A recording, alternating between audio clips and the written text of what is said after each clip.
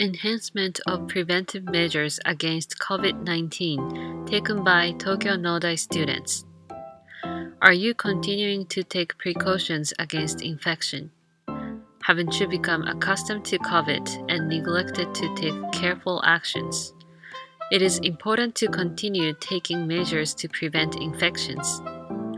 Let's think again now about what we need to be careful of to make our campus life better together. Remember to check your temperature daily. Wear a mask in public places. Wash and disinfect your hands frequently, and gargle when you get home. Also, do not forget to ventilate your room.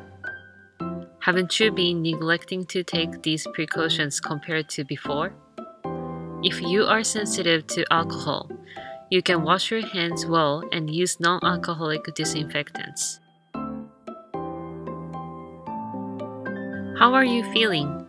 When you or someone close to you had symptoms such as fever or sore throat, do not come to campus. Early treatment and prevention of the spread of infection are important. If you take over the counter medicines at your own discretion, it may worsen your symptoms. Please consult with the Fever Consultation Center or your doctor as soon as possible. If you have any suspicious symptoms or close contact with a person infected with the virus, please contact the Center for Health Promotion or the Healthcare Center. You can find more detailed information on the Nodai website and the Student Portal website.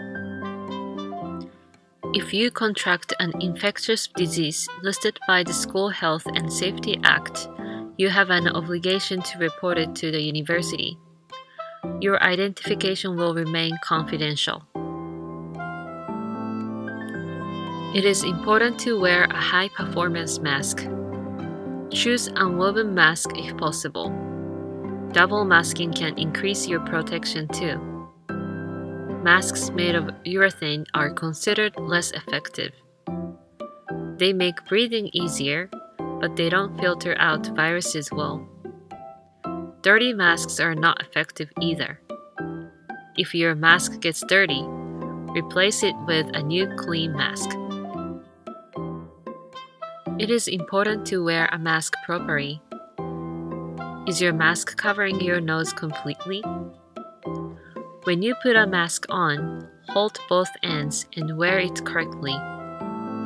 Aren't you wearing a mask under your nose or on your chin?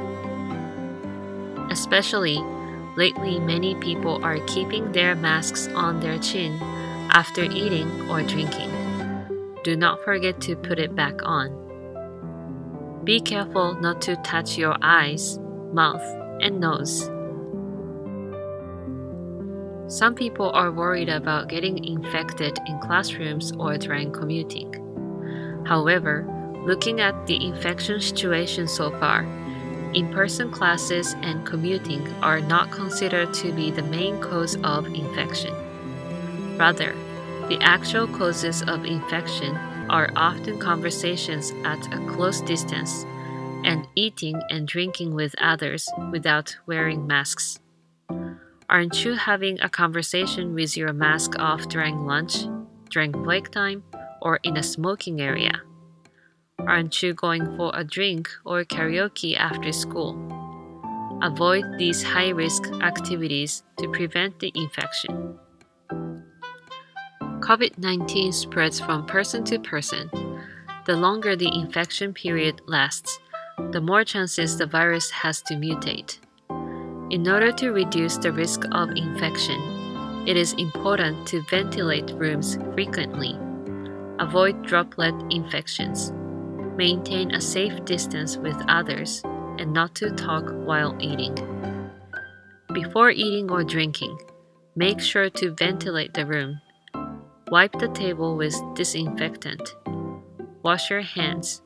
Keep a safe distance with others and eat quietly. When you want to enjoy conversations, do not forget to put your mask on. You can also use the acrylic partition effectively. We thank you for your cooperation. After the Delta variant, Omicron BA1 increased, and then the replacement by the BA2, also known as Stealth Omicron, has progressed, which is thought to have a strong influence on the current increase in the number of newly infected individuals, especially among teens and 20s. Not only infected people, but also severe cases and death are increasing in some countries, so caution is required. It is also reported that a new variant Omicron XE has been found. We need to be careful of our unintentional actions too. Do you always remember to put your mask back on after sliding it down to drink? Do not think it's not a big deal. Some cases of spreading infection caused by the failure to wear masks have been reported on Nodai campus. Do you have a habit of touching your face or hair? Use clean hand towels, as germs can get onto hands easily and spread infections. Keep reminding yourself to wash and sanitize your hands frequently the virus invades mucous membranes of the mouth, eyes, and nose.